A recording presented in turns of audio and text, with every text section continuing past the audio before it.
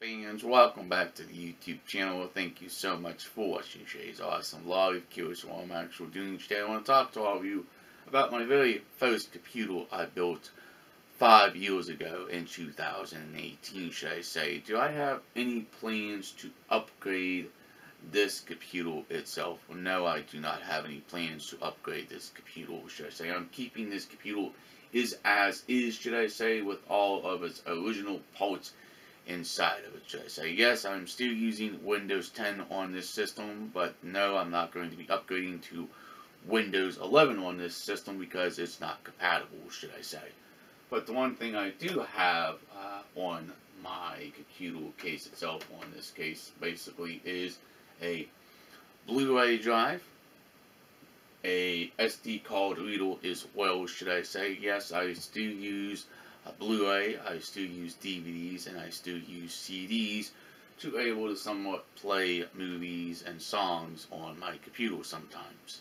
But I also use the uh, memory card reader to read different memory cards for my different cameras itself. But do I have any plans to actually upgrade the system to uh, Windows 11? I will have to take out the original motherboard to actually put a different motherboard in it and a different CPU. But if you kind of notice, this is a small case, should I say. Not all new hardware might fit inside this computer case itself. That's the reason why I have a second case. It's actually a mid-tower case. It's a little bit bigger case than this case itself, should I say. But do I have any thoughts of Windows 11?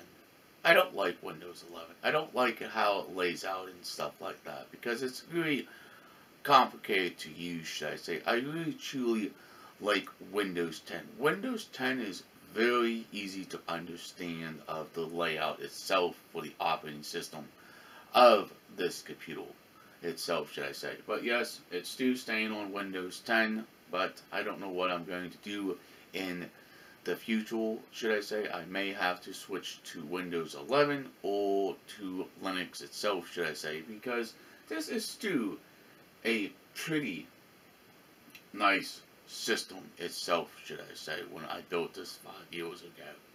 But do I have any plans to really upgrade it? I don't know.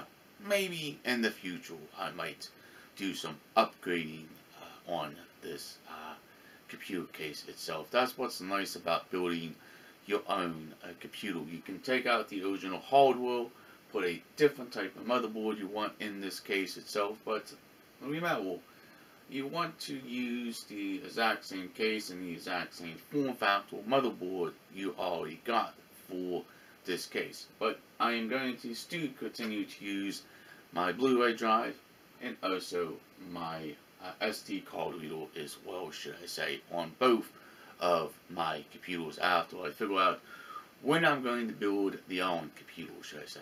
I don't know if I'm going to switch this to Windows 11 or switch it to Linux. It all depends on what I actually want to do with this uh, computer itself, should I say.